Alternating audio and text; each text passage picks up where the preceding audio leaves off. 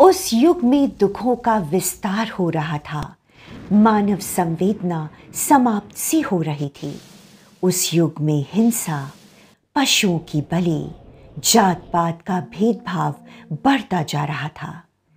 तभी एक अलौकिक वीर, अतिवीर, वर्धमान, सन्मते, महावीर का जन्म इक्ष्वाकु वंश के राजा सिद्धार्थ और माता त्रिशला के पुत्र रूप में चैत्र शुक्ल त्रयोदशी में करीब ढाई हज़ार साल पहले ईसा से पाँच सौ निन्यानवे वर्ष पूर्व वैशाली के गणतंत्र राज्य क्षत्रिय कुंडलपुर में हुआ। आगे चलकर ये अतिवीर बालक वर्धमान महावीर जैन धर्म के चौबीसवें तीर्थंकर हुए। आज उन्हीं करुणामयी भगवान महावीर स्वामी का ये पूरा विश्व जन कल्याणक उत्सव मना रहा है। अगर इस संपूर्ण ब्रह्मांड की प्रत्येक माँ की ममता और वात्सल्य प्रेम को जोड़ा जाए तो वो भी कम पड़ेगा। उस संवेदना, वात्सल्य और ममता रस के आगे जो वर्धमान महावीर का इस सृष्टि के प्रत्येक सूक्ष्म से सूक्ष्म जीव के लिए था। वे इतने करुणामय थे कि जब चंद्रकौशिक सर्प ने उन्हें काटा तो उनके शरीर से रक्त नहीं, बल्कि दुग्ध बहा। अहिंसा परमो धर्म का विश्व को संदेश देने वाले शासनपति महावीर आज उनकी करुणा और जियो और जीने दो की वाणी और भी प्रासंगिक लगती है। माता महारानी त्रिशला को प्रभु महावीर के जन्म से पूर्व चौदह स्वप्नों के दर्शन हुए। अद्भुत पुत्र रत्न प्राप्ति का संकेत देता हुआ अति विशाल श्वेत हाथी देखा। श्वेत वृषभ को देखा, जो बता रहा था कि पुत्र का जन्म जगत कल्याण के लिए ही होगा। श्वेत वर्ण और लाल आयालों वाला सिंह देखा। पुत्र सिंह की तरह बलशाली होगा। कमलासन लक्ष्मी का अभिषेक करते हुए दो हाथियों को देखा।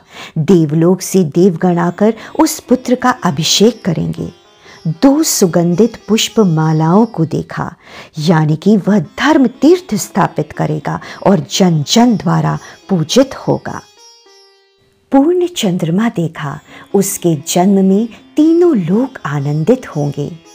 उदय होता सूर्य देखा, पुत्र सूर्य के समान तेजयुक्त और पापी प्राणियों का उद्धाक होगा। संपूर्ण ब्रह्मांड में धर्म की पुनः स्थापना का संकेत देता हुआ विशाल धर्म ध्वज देखा।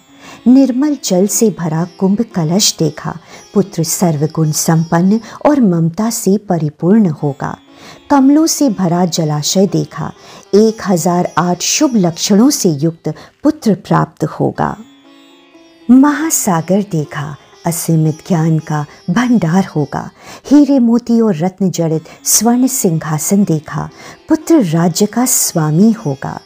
अमूल्य रत्नों का ढेर देखा, पुत्र दिव्य होगा और अलौकिक विवेक का धनी होगा। और धूमकेतु अग्नि को देखा, वह पुत्र अपने सभी दायित्वों को निभाकर मोक्ष को प्राप्त होगा। जगत को करुणा, संयम, उच्च चरित्र और अहिंसा परमो धर्म का मंत्र देने वाले करुणा के महासागर, हर जीव में स्वयं को देखने वाले शासनपति भगवान महावीर स्वामी की जय हो जय हो जय हो। जन्म कल्याणक सारे विश्व के लिए, सारे जगत के लिए, सारे जिन शासन के लिए, श्री संघ के लिए महामंगलकारी हो, सबको महावीर जन्म कल्याण पर बहुत बहुत बधाई और हमारी बहुत बहुत शुभकामना। धन्यवाद।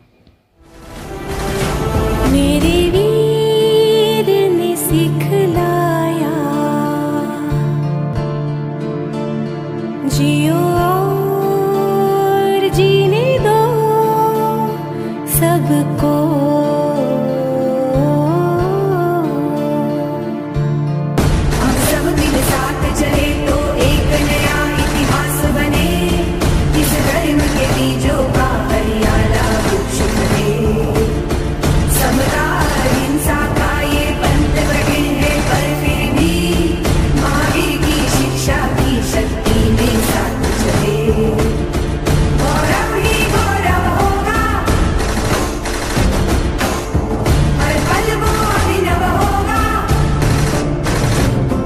जब हर घर में और आँगन में और हर मानव में मिल जाए महा